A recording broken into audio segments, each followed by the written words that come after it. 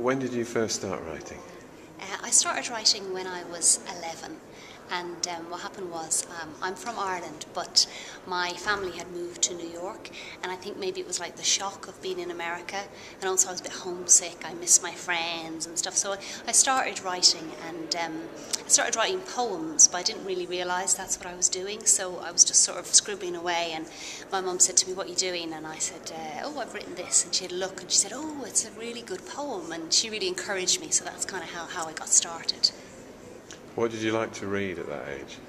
Um, I loved to read. Um, I think my one of my favourite stories was Alice in Wonderland, Lewis Carroll, and I also I used to read all the time. So like I used to go and hide. We had this wardrobe, and I used to go and hide in it. So when my mum would be calling me to help do the dishes and stuff, I'd be hiding in the wardrobe. And I loved The Lion, the Witch, and the Wardrobe. Um, by C.S. Lewis was one of my favourites as well. But I read all kinds. I was always always reading. I just loved it. Where do you write now?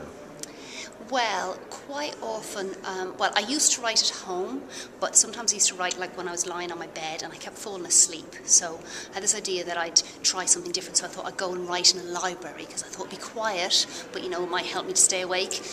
And that, that hasn't always been working out so well either, but, but I do like writing in libraries.